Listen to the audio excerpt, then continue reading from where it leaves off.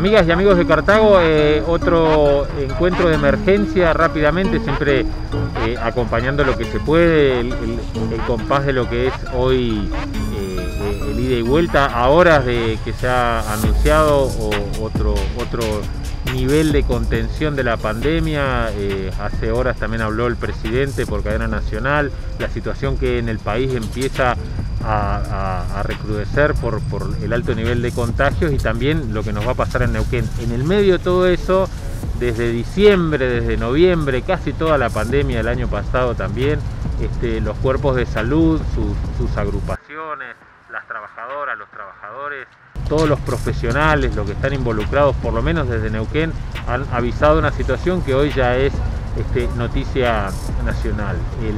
la lucha de las y los trabajadores de la salud que ha llegado también a la portada de los diarios que a veces omiten estas situaciones también por alguna que otra convivencia empresarial eh, con los gobiernos, pero que de repente se dan cuenta que los camilleros, los trabajadores, las cocineras, todo lo que involucra a, los cuerpos de salud, de la salud pública, este, cobran muy mal. Eh, también hace horas se anunció un aumento de 70 mil pesos en la dieta de muchos diputados. Uno pregunta cuánto ganarán los diputados del MPN que eh, no, ahorran discursos para agredir a las trabajadoras y trabajadores de la salud, este, frente a lo que cobra hoy un trabajador de lo que se dice esencial. Y uno piensa, más que esencial, parecen descartables. Nosotros la molestamos a, Noemí, que nos está acompañando. Este, nada, enseguida acaba de salir de la reunión, así que te pedimos, nos sentamos a hablar este, dos o tres minutos ¿Qué está pasando? ¿Cómo, ¿Cómo llegamos a esto? ¿Cuánto hace que se venía avisando? ¿Cómo lo han ido evaluando, Noemí? Gracias por, por, sentarte un rato a hablar con Cartago. No, es un gusto. Eh, en realidad nosotros lo veníamos evaluando en todo el año pasado, se acrecentó este, el conflicto, digamos, sobre todo salarial, después de haber estado un año con la pandemia, con el esfuerzo, el estrés, el desgaste, que eso provocó en todo el equipo de salud que no tuvo este, problemas en ponerse la pandemia al hombro y salir a dar este, calidad de atención a toda la población de Neuquén. Entonces eh, pensábamos que para este año eh, podíamos llegar a tener un diálogo mucho más amable con el gobierno, sobre todo para sentarse con las representaciones gremiales que en el ámbito de salud de la provincia de Neuquén eh, hay, que son los dos gremios tanto ATE como PCN, y dos gremios con simple inscripción como el Sindicato de Enfermería y nuestro sindicato Ciprosapune. Nosotros este, en ese sentido empezamos ya en el mes de diciembre a tener, de tratar de tener un acercamiento con la ministra Merlo y eh, para justamente empezar a discutir y a debatir en qué ámbito se, va a empezar una mesa salarial. Eso no pasó, hubo oídos sordos durante prácticamente todo el verano, con pedidos de reunión en forma permanente, y después cierran un acuerdo que es lamentable, es este, verdaderamente es un cachetazo para todos los trabajadores de salud, los gremios signatarios del convenio colectivo de trabajo, a espaldas de sus trabajadores, entre gallos y medianoche, primero un 12%, después otro, otro 3%, que es porque eh, por el incremento que acepta por mayoría el gremio de los docentes, ATEN, y esto es parche contra parche contra parche, sin por lo menos tener una mesa donde nosotros podamos discutir las especificidades que tiene salud. Salud no se puede tratar como escalafón general.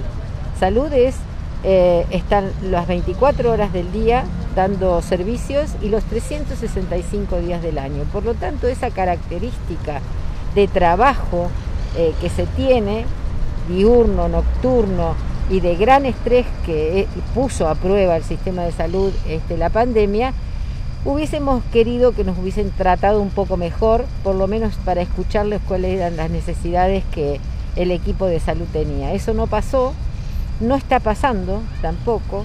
En el caso de Ciprosapune ningunean porque eh, pareciera ser que la simple inscripción que hemos logrado a fines del año pasado, después de 14 años, que el gobierno de la provincia junto con ATE fueron frenando en el Ministerio de Trabajo para que nosotros llegáramos al primer nivel de la legalidad de un gremio, nos siguen ninguneando que no se pueden sentar porque no tenemos la personería gremial. eso, para ser abogado del diablo, ¿eso es un argumento válido? ¿Cómo lo están evaluando ustedes? Es absolutamente mentiroso porque hay cuatro fallos de la Corte Suprema, justamente uno que es de AT2, se llama, es famoso, la jurisprudencia, la jurisprudencia que sienta la propia Corte Suprema, donde habilitan a los gremios simplemente inscriptos a eh, decretar paros o, medidas de fuerza, a sentarse a trabajar sobre las eh, eh, condiciones laborales y salariales, y hay un cuarto fallo que salió en el 2017, refrendado en estos últimos meses por la Corte Suprema, que tiene la obligatoriedad los patrones de retener la cuota sindical. Prácticamente es un paralelo a lo que se puede llegar a conseguir con la personería gremial. Eso incluso es para las comisiones de base, ¿no?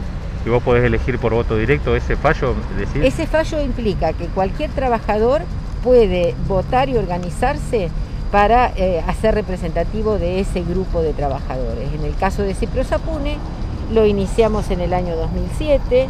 O sea que eh, eh, no hay ninguna, ninguna certeza legal que acompañe eso que dice Al contrario, porque yo siempre hago el siguiente paralelismo.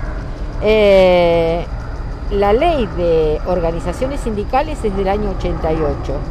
Hay mucho camino recorrido por todos los juicios, por todas las presentaciones que se hicieron con los gremios simplemente inscriptos, y eso hay un cúmulo de jurisprudencia que hace que hoy podamos este, interferir o por lo menos discutir en los ámbitos de gobierno o en los ámbitos laborales en privado los eh, gremios simplemente inscriptos.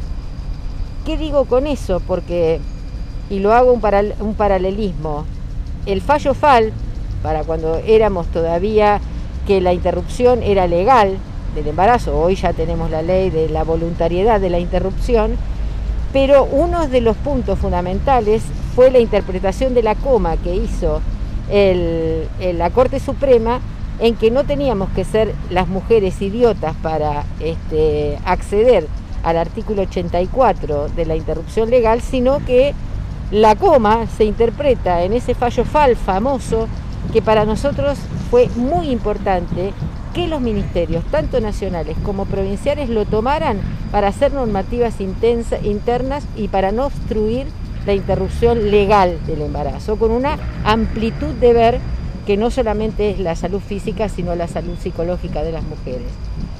Y esto, la, provincia de Neuquén lo toma, esa jurisprudencia, a pesar de la discusión que se tenía cuál era, digamos, el límite de la legalidad en el Código Penal. Sin embargo, cuando toda esa jurisprudencia está a favor de los sindicatos eh, simplemente inscriptos, no la aplica. En un sistema democrático lo que hay que hacer es ampliar, no cerrarse. hacerse este, cerrados es con rasgos hasta casi autoritarios, digamos. La amplitud de las bases de la democracia se hacen cuando hay una mayor participación. A nosotros nos concede todo lo que se acumuló en, todos estos últimos años en la jurisprudencia sobre esta situación y hay una recomendación de la Organización Internacional del Trabajo donde justamente afianza a estos gremios simplemente inscritos. ¿Esto qué hace? Afianzar lo que significa la libertad sindical, que esto es lo que nosotros estamos planteando en este momento. pero, o, sea que en ningún momento los recibió eh, en el marco del conflicto en ningún momento, Ni en ninguno de todos estos años, a partir del cierre del convenio colectivo de trabajo con ATE y UPCN, nos han invisibilizado, no solamente los gremios, sino el gobierno, donde a partir del 2018 nosotros no fuimos más convocados a una mesa salarial, que sí lo habíamos hecho en los años anteriores, ni siquiera a una mesa este, para mejorar las condiciones laborales, cosa que sí se había, este, digamos, al cabo de todos estos años, a Ciprosapune se lo convocaba. Entonces, aduciendo un artilugio legal, que la verdad que la ministra Merlo este, debería tener un poco de ética, este, de no ser, digamos, tan, hacer tan, tan seguidismo de lo que le mandan a hacer, sino ponerse a leer, ponerse a interpretar, porque esta es una cuestión política, no es una cuestión legal la que este, nos están ninguneando de que ni, ni, el sindicato de enfermería ni el sindicato de profesionales se pueden sentar ahí. a discutir salario. Entonces la verdad que eso es lo que ofende. En un año que no se intervino prácticamente más que ponerle el hombro al sistema y para dar este, respuesta a lo que significó la pandemia 2020, este año no se está en esas mismas condiciones, ni físicas, ni psicológicas, hay mucho desgaste, hay mucho descreimiento, hay mucho desánimo en todo el equipo de salud.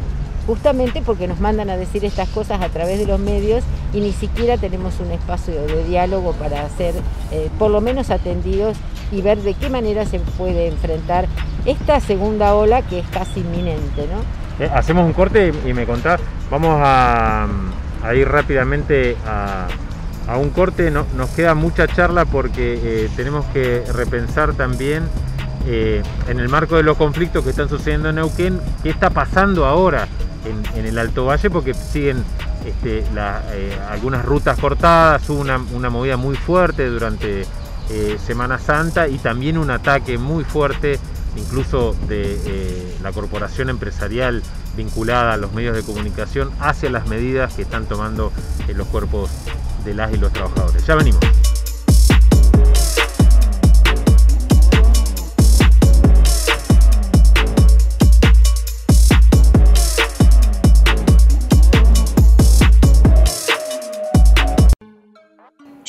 Marco Campos, soy trabajador eh, polivalente, soy mucamo y camillero del servicio de quirófano del Hospital Castro Rendón, votado delegado en la Asamblea de Autoconvocado de mi hospital y como referente también de la interhospitalaria de la provincia de Neuquén. Sí, nosotros en eh, medidas de fuerza, las medidas de fuerza siguen. Eh, lo, que levantamos fue la acción en, en Arroyito, en principio, eh, porque consideramos que eh, estaba cumplido lo que habíamos ido a hacer, visibilizar más aún eh, el conflicto que venimos teniendo los trabajadores de la salud, que durante el año pasado, mientras atendíamos a los pacientes, hacíamos frente a la pandemia, mientras estábamos en la trinchera, como nos llamaron desde el gobierno, nos robaban el sueldo eh, precarizaban a nuestros compañeros y, lo peor de todo, que cuando llegó la pandemia al sistema de salud, eh, empezaron a, fallecer compañeros en nuestros servicios. Hay compañeros que ya no van a poder volver por las secuelas que les dejó el virus. Eh, y todo eso lo fuimos callando, lo fuimos aguantando para ponerle el cuerpo a la primera línea a donde se había llamado, ¿no? Eh, mientras pasaba eso, bueno, esto, nos congelaron el sueldo, nos pagaron en tres cuotas el, aguinaldo, eh, nos negaron un acuerdo que ya estaba firmado por el mismo gobierno y a la hora de, que los aplausos del gobierno se convirtiera en un reconocimiento al trabajo que venimos haciendo y todo, eh, nos ofrece un 12%, que después se convirtió en un 15%, eh, y aumento en, el trabajo extraordinario. Eso es de lo más perverso, teniendo en cuenta que los trabajadores eh, de la primera línea, los que estamos en la trinchera, no podemos estar dando esta nueva pelea, pasar por lo mismo que pasamos el año pasado o peor, pensando que no podemos no vamos a llegar a pagar el alquiler, que no vamos a llegar a, fin de mes. Entonces la indignación por todo esto, por el, por el maltrato, por el destrato de, parte del gobierno, nosotros vamos a seguir peleando, no vamos a bajar los brazos. Lo que vivimos el año pasado no tienen ni idea de, lo que, de cómo nos sentimos. Me quedé pensando, eh, para cerrar, en esto de que eh, ya es innegable la, la alianza entre eh, la dirigencia sindical y el gobierno. Sí, sí, sí, sí, es innegable. O sea, no hay otra forma de, explicar de por qué se comieron eh, el 40% del sueldo de todos los trabajadores estatales y docentes del 2020 porque ahora están negociando solo el, 2021. No, se habla de lo que pasó en el, 2020. En el 2020 no tuvimos un, aumento en todo el año. todo lo contrario, hasta nos pagaron en cuotas. Entonces, eso es la única forma que eso suceda, es con una alianza eh, entre la burocracia sindical y el MPN, que ya no hay forma de distinguirlo, ¿no? son, son la misma cosa. Noemí, si hoy yo pudiera sintetizarte una pregunta como para eh, arrancar esta parte de la charla, ¿qué está pasando hoy en, la salud de Neuquén? ¿Cómo viene esto de la, de la segunda ola, eh, eh, todo esto que se está preparando también? O, esto, me quedo con esto que vos decías, que hay un, desgaste muy fuerte. ¿Qué puede pasar? Siempre lo que pasa en, en AMBA después llega en algún momento, en un mes ya está aterrizando en Neuquén este, aterrizando digo bien porque siempre viene por avión, pero eh, hoy cómo, cómo podríamos contar, incluso para los que no entienden o no están en Neuquén, qué está pasando con el sistema de salud. Nosotros venimos diciendo, aún sin el conflicto, saquemos el conflicto de lado y comparemos cuáles eran las condiciones que teníamos en abril del año pasado a cuáles son las condiciones de abril de este año no estamos en condiciones de enfrentar la misma cantidad de demanda de pacientes porque no está hoy el recurso humano disponible. De las 40 camas de terapia intensiva que se logró en el pico allá por septiembre, octubre y noviembre, que fue para nosotros realmente el pico de la ola, de la primer, digamos, ola, por así llamarlo, eh, hoy se está solamente garantizando el 50% de esas camas. De clínicos, por ejemplo, en San Martín de los Andes, eh, que quedaron de siete, quedaron tres. De clínicos en Chosmalal, quedó uno solo. Es decir, el recurso se ha ido desgastando, yendo, renunciando, o directamente lo que decimos que se les quemó la cabeza eh, por justamente ese alto grado de exigencia que se tuvo en el peor de los momentos de la crisis. Entonces hoy, sin el conflicto, no se está en condiciones de volver a tener la misma respuesta que se tuvo el año pasado. Si a eso le sumamos eh, el desagravio, digamos, que hemos tenido por parte del gobierno, este, eh, agrediéndonos, ninguneándonos, diciendo de la representación, de la, no representación, eh, cerrar un acuerdo a espalda de los trabajadores de salud, eso hoy se duplica, digamos, ese disconfort, ese descontento que hay en los equipos de salud. Así que resolver el conflicto es un tema que debe ser urgente para las autoridades, del gobernador a todos los que están implicados, los ministros que están implicados. Y en segundo lugar, de ver de qué manera se pueden ir recuperando aquellas camas que supimos tener allá por julio y agosto del año pasado.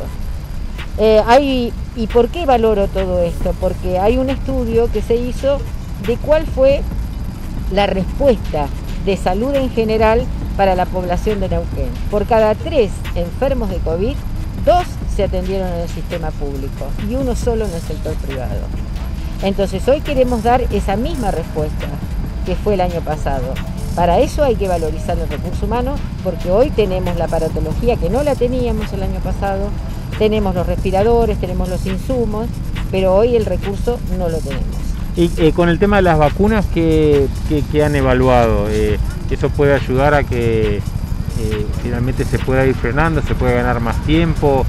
Está el caso, por ejemplo, uno se pregunta por, por te una evaluación por ahí un poco más general, pero países que han llevado un plan de vacunación fuerte y que sin embargo el contagio es altísimo. ¿Ustedes que están evaluando, incluso en el medio de un conflicto como el que tenemos hoy? Sin duda la vacuna frena por lo menos los casos graves, que eso este, es un alivio hacia adentro, digamos, de los sistemas de salud. Porque el hecho de vacunar a, la población más susceptible, a los esenciales, que son los propios trabajadores este, esenciales, no solamente de salud, sino los que tienen que estar sí o sí dando respuesta aún en la pandemia, eso va a disminuir. El problema es que las vacunas no han llegado en el momento, en el tiempo y en la cantidad, porque como es sabido, hay mucho conflicto a nivel mundial en la adquisición de las vacunas. A pesar de eso, este, Neuquén ha ido vacunando por lo menos y se ha puesto el desafío de aquellas este, poblaciones más susceptibles. Así que el plan de vacuna, con lo poco que se tuvo, se ha efectivizado en, Neuquén. que comparativamente con lo que pasa en Río Negro es absolutamente eh, disímil, digamos. En Río Negro todavía están tratando de vacunar a los mayores de 75 y acá están con mayores de 60. Lo cual la dinámica que se dio en cuanto a la rapidez que con la escasa, poca, mucha y poca vacuna que se, se tuvo en disponibilidad, se, rápidamente se efectivizó la inmunización. Pensamos que como justamente es poco lo que se pudo hacer hasta esta altura, que ya estamos entrando, digamos, en la etapa invernal, puede que la disminución no sea del impacto que pretendemos, pretenderíamos haber tenido, digamos, ¿no? Pero es bueno, digamos, lo, que se está haciendo en, ese, en esos términos, porque bueno, no se dejan en los freezer, se les coloca a, a los ciudadanos. Y eso ¿Cómo va a impactar? Si mal, bien, lo vamos a tener que ir viendo a medida que se va dando este, la pandemia. Lo que sí, siempre la responsabilidad de seguir cuidándose, porque esa es la mejor vacuna que hoy tenemos. Em, tengo una pregunta eh, que tal vez no, tiene que ver eh, eh, específicamente con, con la mirada este, coyuntural, pero ¿Cómo, haces para eh, sentarte a, discutir con una ministra, con un ministro o con, alguien de mucha jerarquía en el gobierno del MP, en el gobierno neuquino, cuando horas antes este, tuvo un trato despectivo eh, con respecto a los conflictos o con respecto a la posibilidad de, mediar? Eh, me llama mucho la atención eso y digamos ¿Qué, qué podés hablar si hacía dos días o un día negó cualquier posibilidad de diálogo y prácticamente te trata de extraterrestre, que no, no podés discutir nada y que por qué no, estás laburando? Y por otro lado, eh, con tu experiencia en territorio y, todo lo que todo el, acumulado de trabajo, eh, ¿alguna vez pasó esta situación que un sindicato estuviera tan este, unido a, a una jerarquía gubernamental. O sea, por momentos, lo digo con mucho dolor, pareciera no hay diferencia en el discurso de, una dirigencia sindical a, lo que puede opinar, no sé, un funcionario o incluso un, miembro de la, del gobierno o, del partido, del MPN, ¿no? Tiene dos respuestas. Este, la primera de cómo uno se logra sentar este, tragándose, digamos, la bronca, es una responsabilidad que los dirigentes tenemos que tener. Eh, tenemos que llegar a acuerdos y a diálogos, aunque nos moleste quien tenemos como interlocutor adelante nuestro, porque en realidad ese es este, el intercambio de opinión y el buscar una manera de dialogar, hay que hacerlo, aunque uno después este, escuche o, o a través de los diarios se entere de lo que opina tal o cual. Lo cual eso me parece que es, como responsables, digamos, de ser dirigentes de un gremio, tenemos que tener esa amplitud, que es lo que siempre marcamos nosotros de decir Presapune, la amplitud como para poder sacar lo mejor que podamos hacer en función del sector profesional que es al, cual representamos. Después, respecto a la connivencia que ATE, particularmente ATE y UPCN, eh, porque UPCN está callado pero también firma, eh, el más, digamos, locuaz es Quintriqueo, pero no por eso eh, el otro gremio deja deja de firmar lo que hacen conjuntamente. yo me paro en ATE porque, disculpame, porque UPCN históricamente tuvo una postura más...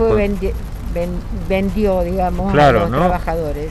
Pero en el caso de ATE uno ve una, una estructura de más combatividad, más presencia callejera, más, resguardo a, las laburantes, los laburantes, y esto la verdad que a, mí me asombra, ¿no?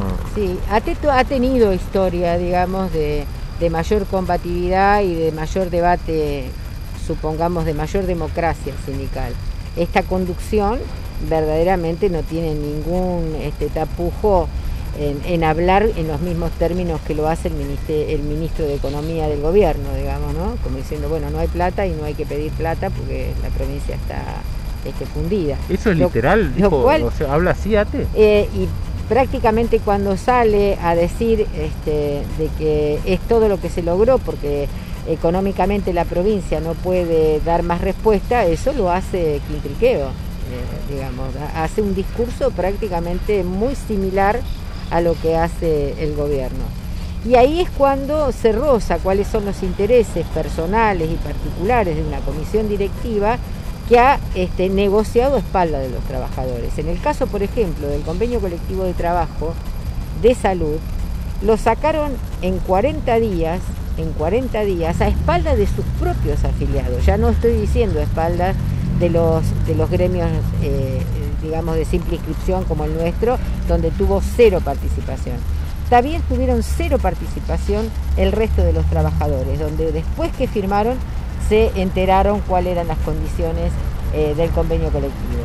Lo cual siempre ha sido, nosotros, yo lo sostengo, que no solamente hay connivencia de tipo política, sino de económicas.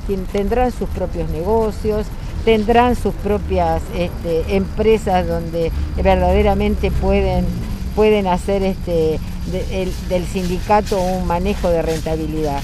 Eh, verdaderamente es vergonzoso, vergonzoso que esta conducción hable, en términos como habla del gobierno, habla de democracia sindical cuando no la tienen, cuando se juntan para hacer una votación indirecta como es la que tienen, de sacar en un plenario de delegados, cuando todos los delegados mayoritariamente venían rechazando el incremento, este, hacen la maniobra del cambio de voto.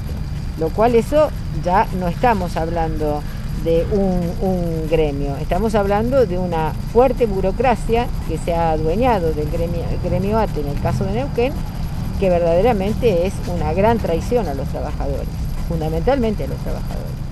Eh, te agradecemos mucho la, paciencia y bueno, obviamente las ganas de sentarte un ratito a hablar eh, con nosotros en, una movida tan, tan complicada, con los días tan complejos, los horarios que van, vienen. Eh, me queda esta reflexión de que por lo menos mediáticamente se había logrado tamizar en una opinión pública más permeable a esos a esos mensajes de que eran, eran un grupo muy minoritario los que estaban protestando. ¿no? ¿Eso ustedes lo, vieron hoy? ¿Qué reflexión tenés? ¿Que, era un grupo muy chiquito, que no había que tenerlo en cuenta. Lo que pasa es que los trabajadores tampoco somos un, ejército, digamos. Este, eso es también es parte del discurso del ninguneo, ¿no?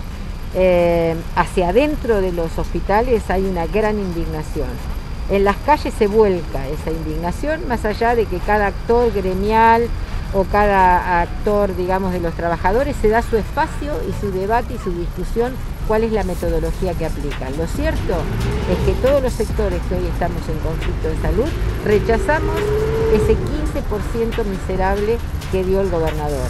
Y además en el caso, por ejemplo, de los profesionales, dio un 9% más a las guardias, que eso significa bueno, hay que desgastar al, recurso que haga más guardias. Lo cual es una visión realmente perversa lo que plantea este incremento eh, salarial. Eh, o este pseudo incremento salarial. Lo cual estamos fuertes, el conflicto eh, se siente mucho dentro de los hospitales y tenemos un gran acompañamiento de la, de la población, un gran acompañamiento de la comunidad porque sabe lo que se hizo el año pasado y sabe la historia del sistema de salud pública de Neuquén.